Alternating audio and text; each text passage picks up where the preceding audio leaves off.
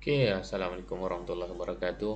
Uh, terima kasih Mai, sorry untuk uh, terpaksa delay ataupun record kelas ni untuk menggantikan kelas yang terpaksa ditangguhkan sebentar tadi. Okay, uh, memandangkan ada hal yang uh, emergency lah. Eh, salah seorang daripada uh, bekas jurulatih perhotelan eh, uh, Cik Syarifuddin telah menemui ilahi jadi kita uh, pertama sekali kita uh, hadiahkan Fatihah dululah kepada roh arwah mudah-mudahan uh, beliau roh arwah ditempatkan di kalangan orang beriman. Al-Fatihah.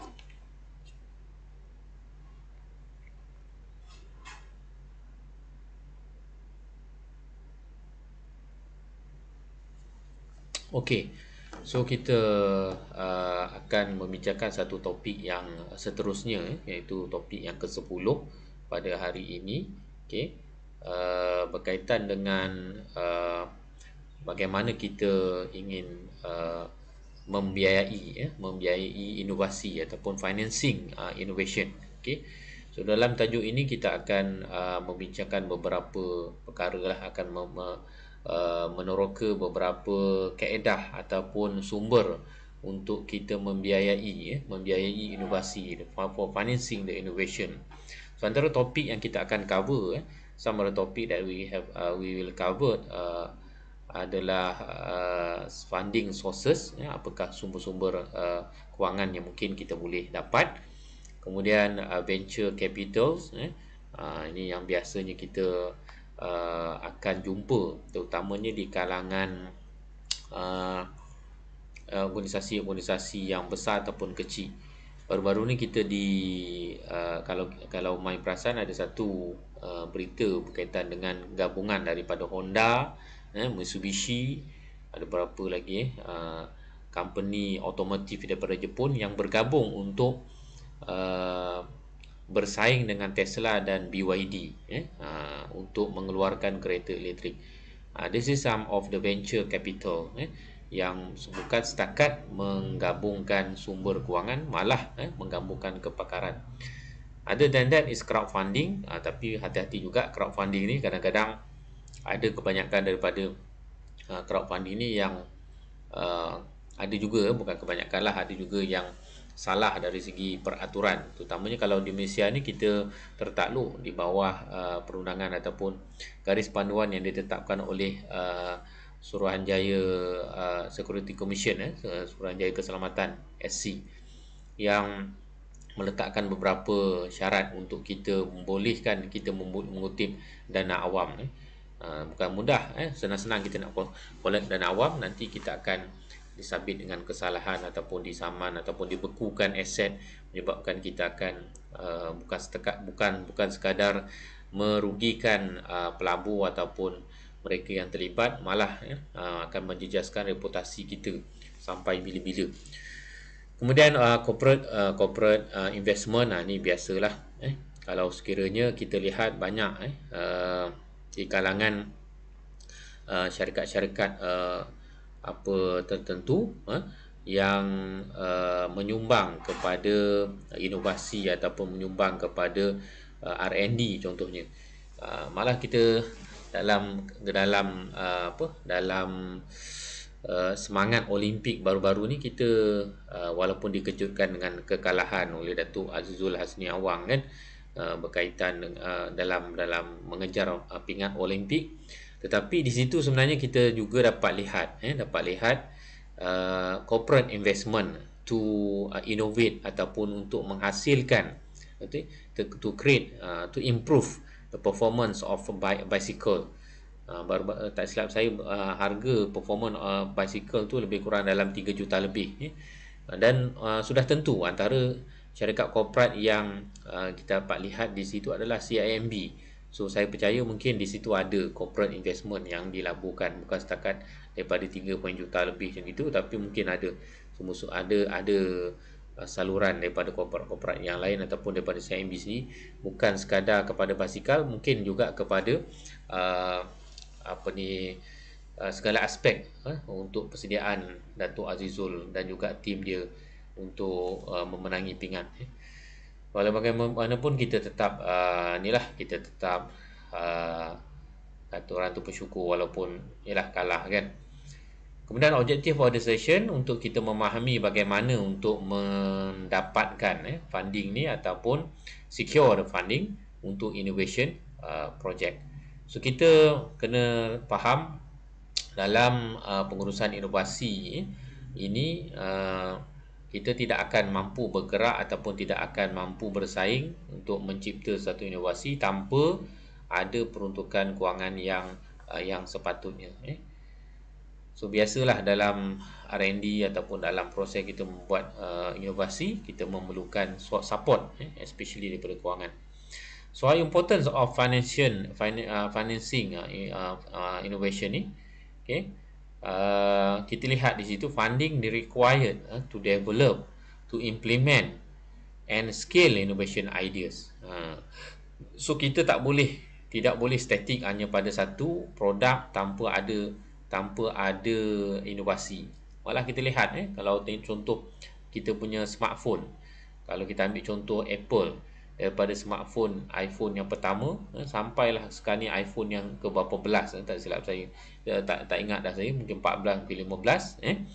So setiap daripada uh, apa ni pembangunan model baru tersebut dia akan akan menghasilkan eh, tarikan-tarikan tertentu untuk pelanggan ataupun dia punya peminat setia untuk meneruskan eh, menukar dan sebagainya.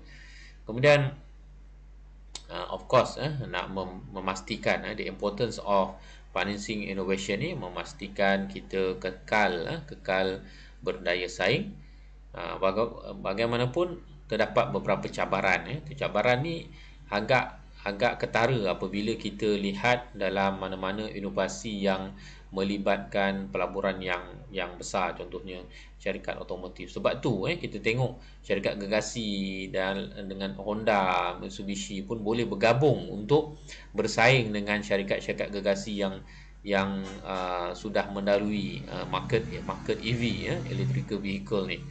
Uh, sebab apabila mereka mengeluarkan eh suatu produk ataupun suatu EV ni eh, mungkin eh, akan uh, dia punya cabaran kos untuk pengeluaran sesuatu EV itu agak agak tinggi eh, untuk tujuan R&D ataupun inovasi. Kemudian of course uncertain returns eh uh, some of uh, product line contohnya macam kita tengok kalau di Proton ni Privy eh Privy telah di, diberhentikan uh, pengeluaran. Dia tidak macam Corolla contohnya Toyota Corolla berapa puluh tahun daripada dulu sampai sekarang ada lagi Corolla. So Privy hanya bertahan beberapa tahun eh kemudian tiara hanya beberapa tahan beberapa tahun. So all of that is uncertain eh? Uncertain returns. That can impact to to apa ni apa the success of of or fail uh, the investment uh, to financing uh, innovation.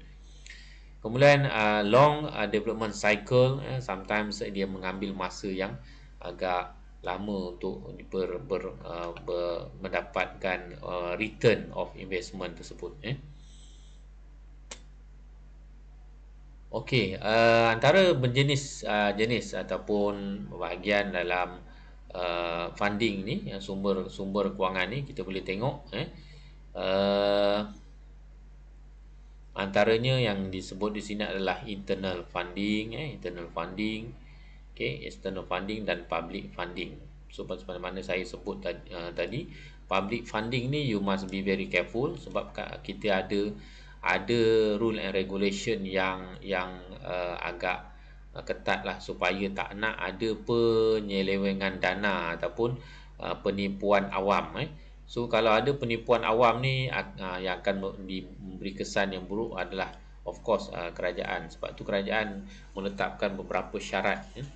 uh, bila masyarakat umum contohnya pakcik-pakcik yang baru pencen eh mendapat gratuity ataupun imbuhan uh, so dia orang dalam tangan ada beratus ribu. Hampir kadang-kadang ada yang kalau dah lama servis dan juga jawatan ini sampai berjuta duit cash eh uh, so orang macam ni biasanya pihak-pihak yang yang uh, ingin mengambil kesempatan akan akan uh, apa uh, gunakan untuk menawarkan contohnya pulangan yang tetap uh, uh, kemudian keuntungan yang uh, modal yang tidak uh, terjamin dan sebagainya. Uh, ini semua janji-janji yang uh, too good to be true. Sometimes they will give uh, you return at uh, every month at least maybe 10%.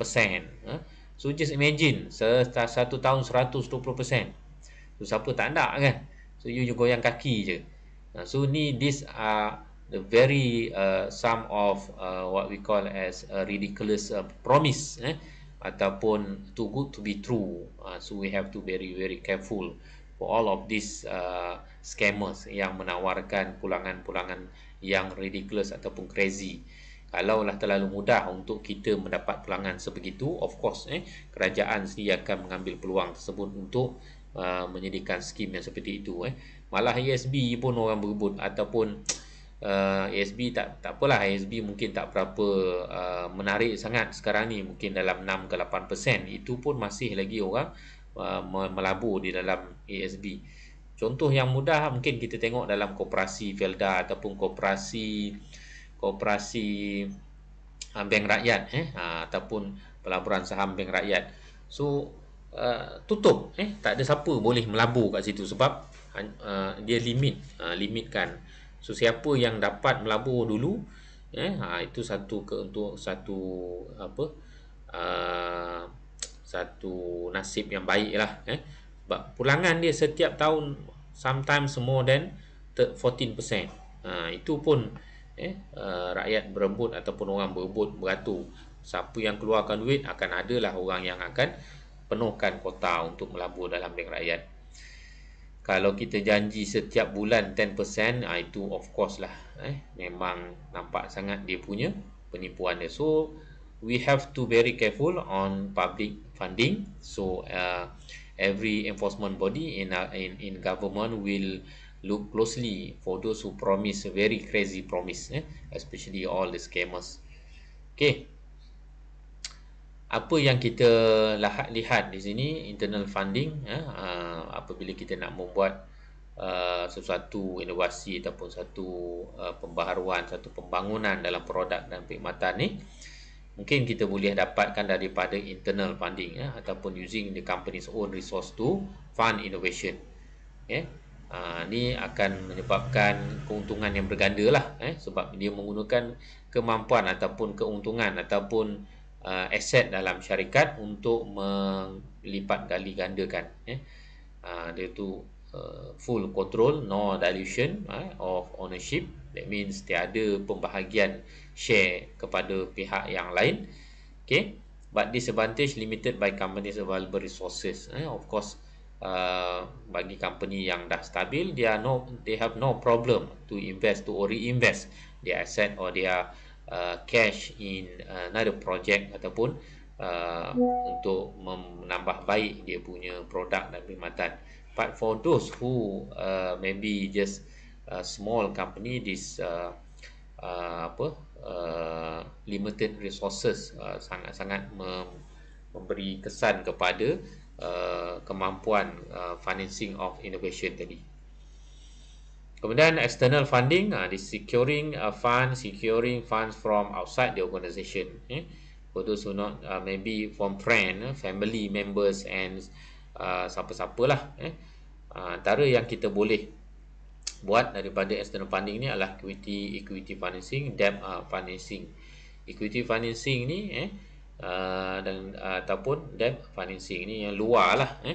Maksudnya kalau dalam dalam company yang uh, mampu menawarkan equity ya, ataupun memberikan saham eh, menjual saham mereka uh, so mereka akan uh, give up lah some portion of their share so that other people ataupun external funding ataupun uh, external party will invest uh, will uh, inject some fund or some amount of fund. So that kita akan dapat satu suntikan dana lah yang membolehkan kita membuat inovasi. Okey. Antara contoh-contoh yang kita dapat di sini ah inilah venture capital. Bila venture capital that mean you are not uh, uh, alone anymore ataupun you are not in in, in this uh, small group. You your group become bigger. Uh, uh, some advantage of external funding uh, you can also extract ataupun use uh, leverage the expertise seperti mana yang saya sebut tadi contohnya macam Honda, Mitsubishi eh, they all uh, well established in term of uh, developing uh, automobil ataupun kereta dan sebagainya kenderaan. Okay? So they will can can combine their expertise into uh, in order to develop a very competitive EV in future. To beat ataupun to com- compete with uh, major player like Tesla or BYD. Okay, uh, ada uh, source of funding kita tengok kat sini eh antara uh, ni adalah uh, venture capital, ni adalah private equity investment in early stage or high potential of uh, startup eh. Okay. Ni uh, ada risiko yang agak tinggi but anyway uh, of course the rule is there. Okay. High risk that mean high high potential of return eh. And uh, bila sebut venture capital ni adalah gabungan eh. Maknanya dia bukannya sleeping partner. So very active involvement. Okay. So there are so many stage that uh, we can see from here venture capital maybe uh, dia ada beberapa fasa lah eh. kadang-kadang bila buat venture ataupun kerjasama ataupun bergabungan eh. bukan kerja, kerjasama dia penggabungan okay. Uh, peringkat awal eh. uh, peringkat uh, ah, sampailah ke uh, apa peringkat yang lebih advance okay. ini contoh kita boleh tengok eh. dalam google yeah, uh, boleh search what the story behind of these companies ataupun this venture capital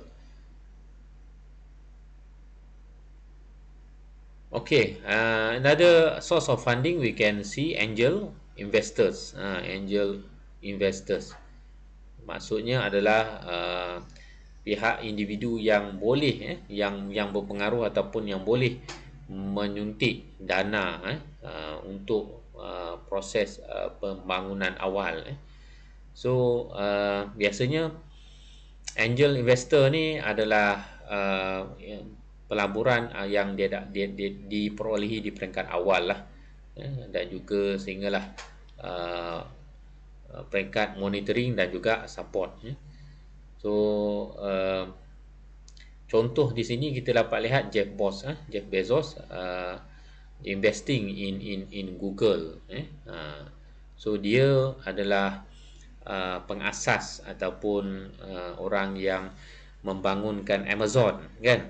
Uh, Jeff Bezos ke? Jeff Bezos Jeff Bezos eh uh, so dia ni adalah orang yang mengasaskan Amazon so dia he had a very big uh, capability ataupun uh, funding so that he can invest eh? he can invest to Google so that uh, Google can get advantage a lot eh?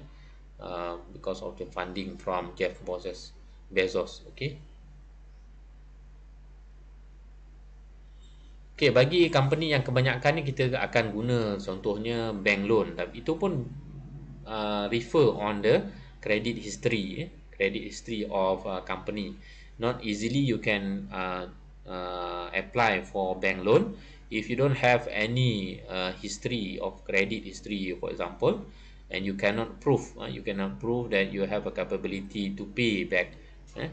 uh, so uh, normally a bank will refuse to accept your application for the loan okay so kita akan tengok biasanya uh, company-company yang at least one or two years punya previous record yang cantik barulah dia akan dia akan apply untuk expansion of their operation ataupun expansion of uh, develop their, their uh, apa ni uh, R&D eh.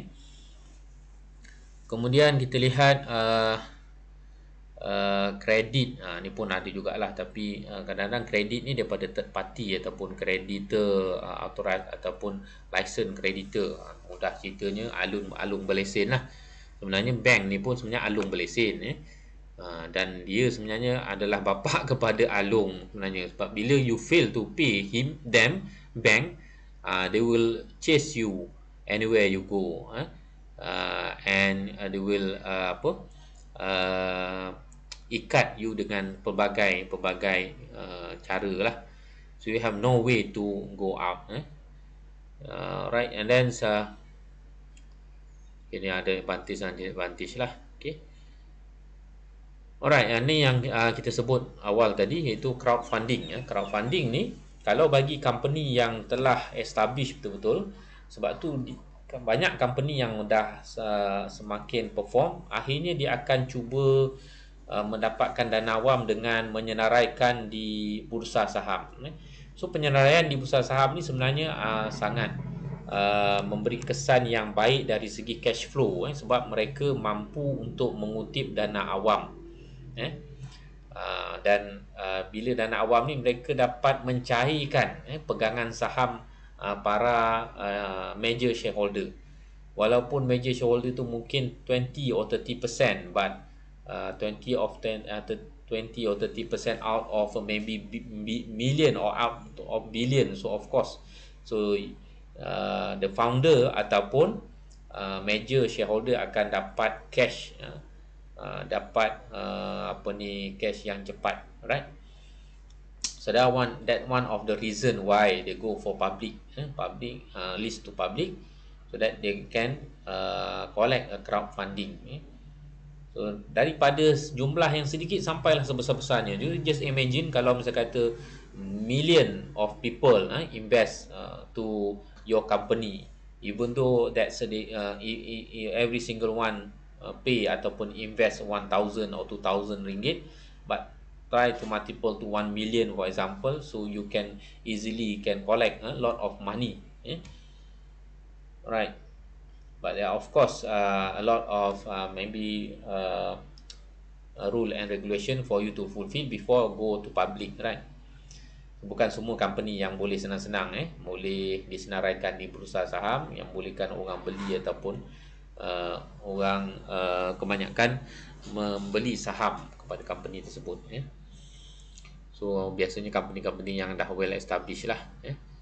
Kemudian uh, corporate investment uh, seperti mana yang saya cakap tadi contoh yang paling mudah eh.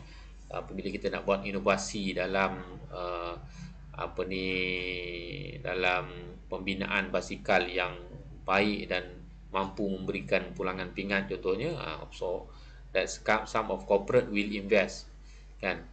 Uh, so at least dia akan dapat return in term of public publicity right? Uh, baju yang dipakai oleh atlet yang ternama ada nama company dia. Right so this a corporate funding okay? So some issues that maybe we have to tackle eh?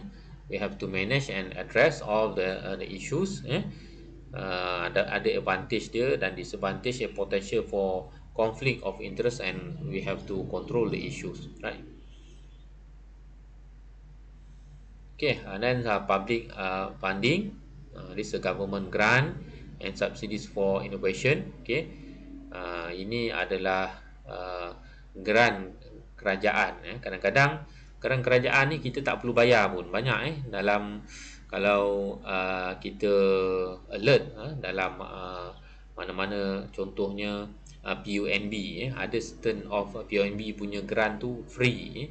uh, just because you are entitled because you already maybe establish your your business but uh, you have stuck in certain stage because you have a limited amount of uh, capital ataupun kita kurang modal so ada setengah grant ni memang dikeluarkan oleh kerajaan untuk membantu eh membantu para per, per, para usahawan untuk pergi lebih jauh. So daripada situ kita boleh uh, mungkin eh uh, meningkatkan kita punya daya saing dengan membuat beberapa inovasi dalam produk ataupun perkhidmatan kita.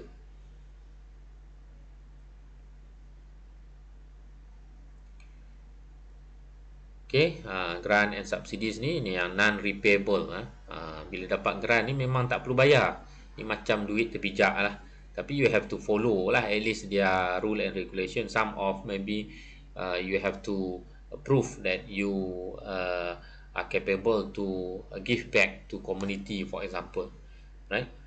And every single of your activity uh, or development or improvement they want a report. So that they will prove to government uh, to authority that uh, your that's money is not waste.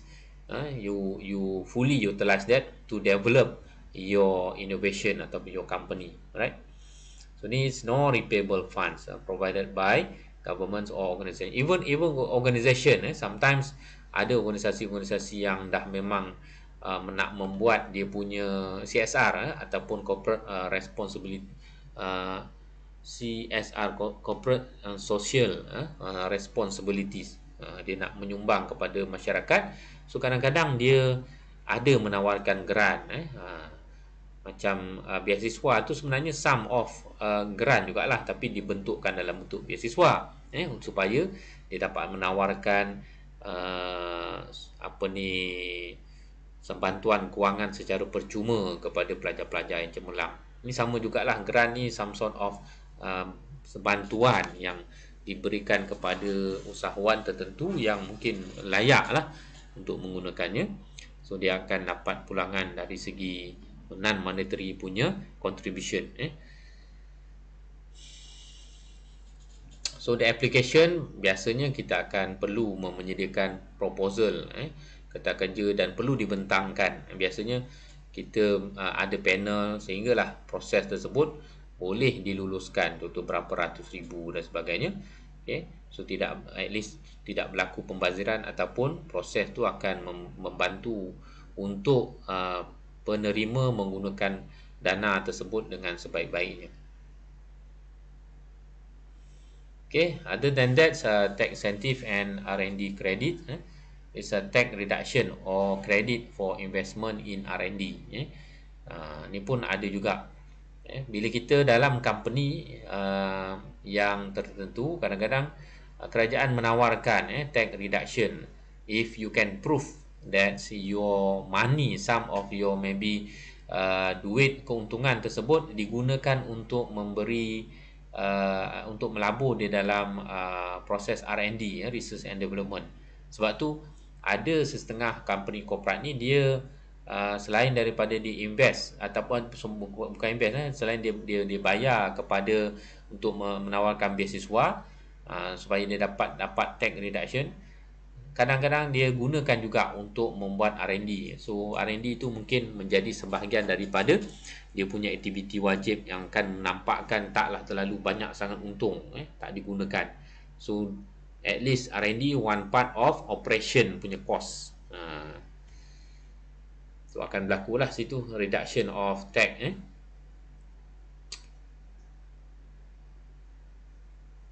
And then uh, strategic partnership okay. Uh, ni one of the very uh, good uh, investment ataupun good uh, financing uh, innovation.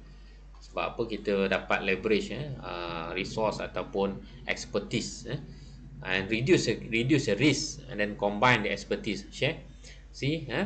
so disadvantage eh, ni ni semua adalah uh, kelebihan eh, kelebihan. Tapi kita perlu hati-hati dalam membuat strategic partnership ni sebab biasanya eh biasanya akan berlaku konflik eh, konflik. Potensi untuk berlaku konflik tu agak tinggi. So we have to control eh ataupun we have to manage all the conflict properly or we will fail ataupun we will face a lot of difficulties more difficult more complicated compare before uh, strategic partnership So ini antara benda yang kita dapat contoh lihat adalah Google dan NASA eh collaboration on Google Earth. So you see this is one of the very good story of share strategic partnership. So sekarang ni kalau kita nak pergi mana-mana, kita agak mudah eh sebab uh, even kita nak pergi tempat yang kita tak pernah pergi pun gambar Google tu ada. Uh, gambar Google Earth tu ada so kita boleh jalan kaki pada simpang ni, kita boleh kenal pasti simpang ni masuk simpang mana. Okay. So ada beberapa case study yang uh, dapat dilihat di sini. Antara pertama adalah Tesla. Bagaimana uh, Tesla membuat pendekatan dalam financing uh, innovation. Eh. Uh, kita kenal pasti, eh, kita dah kenal, mungkin pernah dengar Elon Musk ni bagaimana dia punya perjalanan dalam bisnes. Okay. Dia sangat berliku eh. uh, sebelum dia menjadi orang paling kaya kat dunia ni. Okay. So Elon Musk ni pernah jatuh dan pernah... Uh, pitching balik untuk dapatkan investor ataupun mendapatkan dana eh so bukanlah satu perkara yang asing bagi Tesla dalam ataupun bagi Elon Musk dalam bila dia dah berjaya macam ni eh maknanya inovasi inovasi yang yang berlaku memerlukan uh, sumber dana yang sangat besar eh.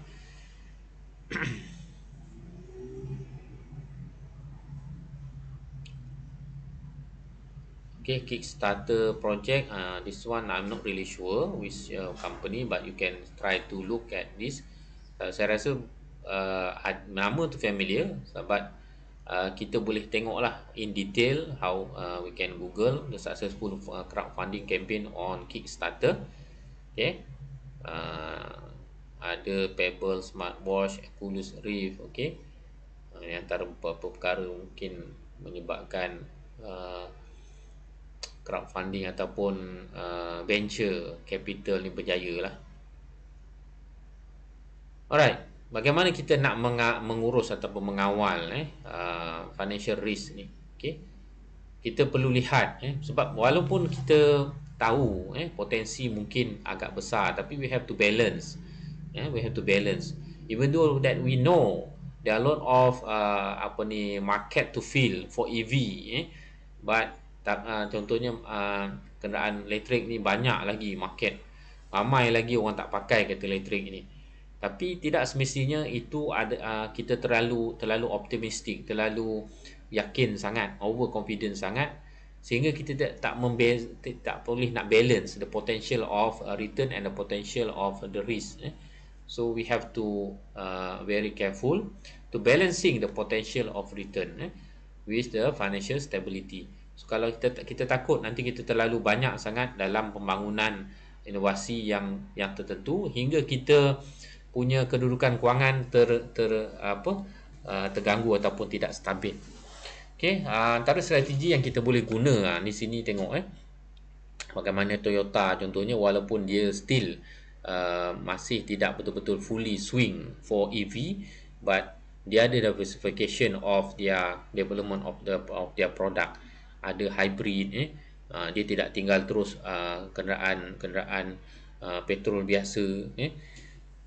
So some investment not only uh, on EV but they will develop how uh, efficiency of uh, fuel eh uh, car dan sebagainya lah.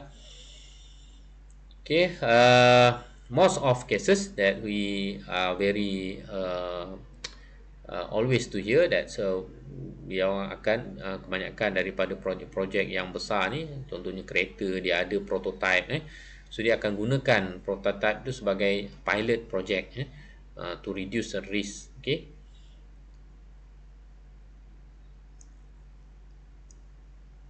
okey uh, sebelum kita mencari ya dana-dana ni of course kita kena buat beberapa preparation supaya kita punya pitching ataupun kita punya uh, percubaan eh percubaan untuk mendapatkan dana tersebut mempunyai uh, peluang yang lebih baik lah eh. So that's why kita tengok ni increases chances of securing funding eh.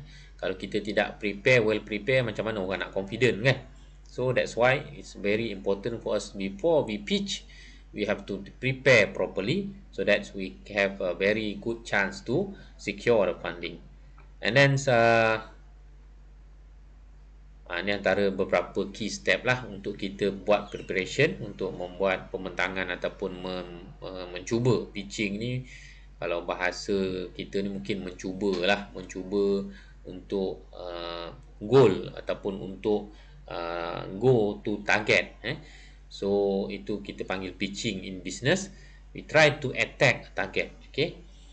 Before we attack the target we must have a very proper business plan Ha, kalau pernah dengar uh, mai pernah dengar mungkin ada cerita pernah ada cerita Dragon Den eh. Dragon Den ni one of the like very good uh, uh, apa ni rancangan yang me, uh, mendedahkan ataupun me, uh, uh, rancangan yang memberi peluang kepada usahawan untuk Uh, mencuba mendapatkan uh, funding daripada jutawan-jutawan beberapa orang jutawan. Okey? Uh, so dia kena present secara live ataupun secara recording pun saya tak tahulah. Tapi recording lah maksudnya dia akan cuba present okey di depan beberapa orang jutawan jadi mana-mana jutawan yang berminat uh, untuk melabur dia akan uh, dapat uh, fund lah daripada situ eh. So antara perkara penting yang biasanya eh apabila saya tengok Dragon Den punya channel ataupun uh, television tu dia akan of course eh mendedahkan business plan. Apa yang uh, plan ataupun apa dia punya proposal kepada investor ni. Kalau sekiranya investor ni sanggup nak bayar ataupun nak nak menyumbang katakan 1 million ringgit uh, ataupun 1 million for example Kemudian financial uh, projection, projection and pitch deck. Okay. Uh, so antara beberapa tip yang kita boleh guna kat sini adalah uh, mesti have a very clear value proposition. Eh. Walaupun benda tu simple. Uh, contohnya macam table cable tie. Eh. Cable tie ni perkara yang simple. Tapi the value is very very high. Okay. Uh, biasa kalau kita guna cable tie tu kan. Maksudnya kita uh, pakai uh, untuk mengetatkan mana-mana uh, apa uh, ikatan uh, kita akan pakai cable tie very simple very uh, i think uh, sangat uh, inovasi yang sangat simple tetapi very very useful. Understanding the investor need uh, ni pun sama juga sangat penting. Apabila kita nak buat pitching kita kena faham apa sebenarnya uh, investor punya uh, background eh supaya kita dapat pitch ataupun kita dapat uh, uh, push the hot button for investor. Uh, dia tak minat tentang retail, dia minat tentang teknologi punya produk. Tapi you you jual ataupun you cuba pitch ataupun cuba dapatkan funding untuk retail punya produk. Memanglah susah, kan? Okay. Walaupun you mempunyai business plan yang baik, tetapi because of we don't understand the investor needs so we fail to secure the funding. Okay? And then of course uh, uh, practicing pitches. Uh, kena kena sentiasa uh, apa ni bersedia. Bukan over confident ataupun terlalu low esteem ataupun uh, ada uh, tidak confident sangat eh. So kena practice to build up our confidence Okey, ha pitching to to investor ni yang dikatakan pitching ni tadi mencuba untuk mendapatkan dana daripada investor. Okey, that mean you are present your idea, your business uh, to potential investor to secure funding. Okey. So um, some of key components that uh, we present ataupun beberapa elemen yang sangat penting semasa kita membuat presentation tersebut antaranya adalah kita melihat eh, kita membentangkan apa sebenarnya masalah yang berlaku dan akhirnya kita dapat come out dengan some solution. Ha, macam cable tie tadi lah very simple innovation but they uh, its uh, product solve a lot of uh, problem uh, for daily simple problem kan? Dan market opportunity ha, ni pun sama juga. Kalau kita lihat market di China lah ha, contoh yang kita boleh ambil market di China sebab tu uh, rakan saya yang daripada China dia kata kalau nak kaya uh, orang China ni dia tak perlu pergi luar sebab dia punya market opportunity dalam negara saja sudah cukup untuk memberi memberikan mereka kaya raya. Sebab dia punya dia punya uh, apa? Dia punya uh, ke, uh, rakyat yang begitu ramai eh. Kemudian business model, lah, team and financial. Okay, so if you have a very good team, of course that's one a very good advantage. Yeah. So orang pun investor akan tengok juga, oh you ni nak nak propose tentang tentang uh, katakan uh, berkaitan dengan produk uh, kesihatan, tetapi tak ada seorang pun yang background uh, medical doctor, tak ada seorang pun yang background katakan nutritionist ataupun food technology expert, kan? So macam mana you nak convince investor? Sebenarnya kebanyakan semua tak ada background nak. Semua background background apa? Background uh, contohnya IT saja. Ha so tu penting jugalah eh. The teams eh.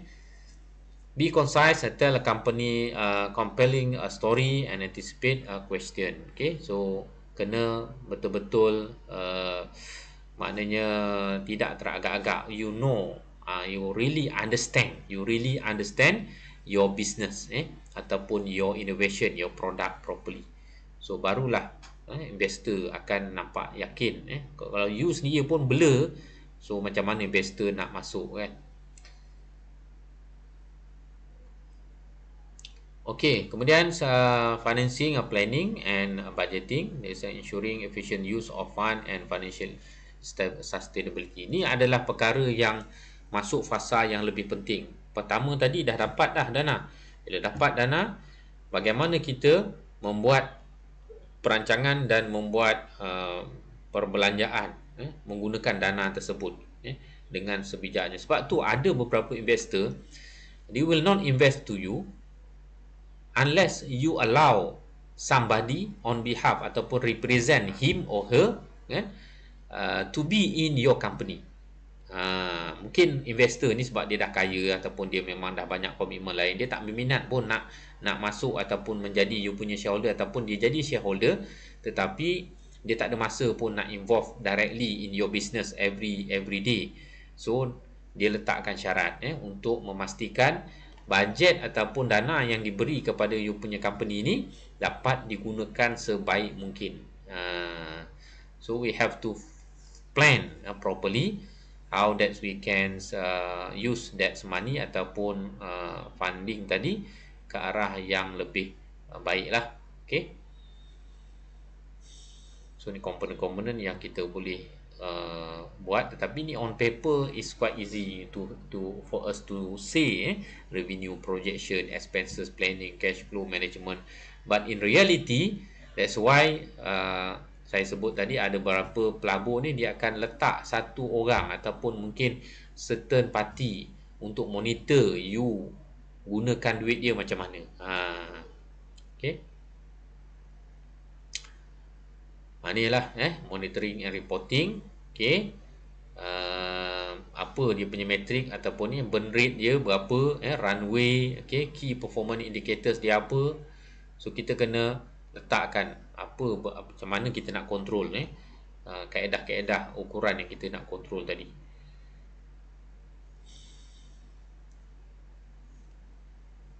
Okay, ha, scaling with financial discipline is uh, importance for balancing growth with financial health.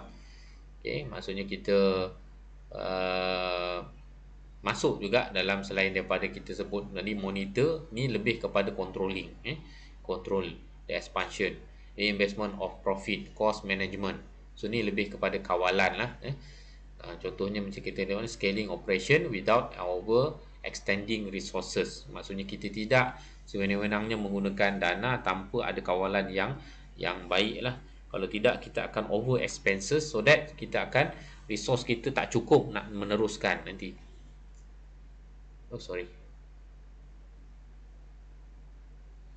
Okay, uh, this are future trends ataupun apa trend sekarang ni ataupun trend akan datang dalam financing uh, innovation ni. Okay. Yang pertama adalah emerging trend. This is impact investing ataupun blockchain based funding, AI in financial decision making. Ha, kita kena tahu sebab apa kadang-kadang bila kita nak uh, membuat satu bisnes ataupun ingin ingin mengembangkan bisnes sedia ada, okay, kita perlu lihat kat mana eh yang yang sekarang ni trend. Ha, macam contoh saya buat company lah. Bila company ni ditubuhkan company training perkara pertama yang kita pening ataupun kita nak fikir adalah apa training yang yang mungkin uh, ikut trend sekarang ni? Oh, so kita kenal pasti AI eh.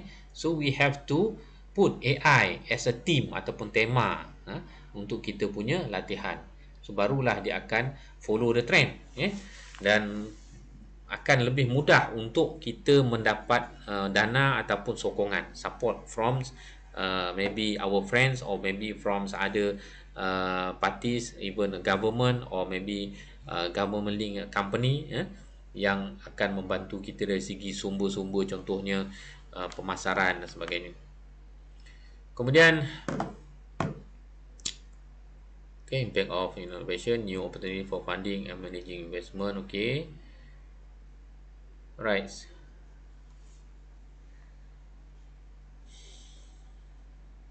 So kita uh, tengok dalam chapter ni sebenarnya kita telah uh, melihat beberapa sumber strategi dan case-case study yang ada. Okay. Uh, penting untuk kita memahami bagaimana kita nak secure ataupun mendapatkan ataupun close the deal for ataupun close uh, ataupun mendapatkan investor ni tadi eh dan lebih penting lagi adalah bagaimana kita nak mengurus dana yang kita dapat daripada investor tadi eh Okey, itu saja yang saya boleh share untuk uh, apa ni kelas ataupun tajuk dalam chapter yang ke-10 ini. So terima kasih. Assalamualaikum warahmatullahi wabarakatuh.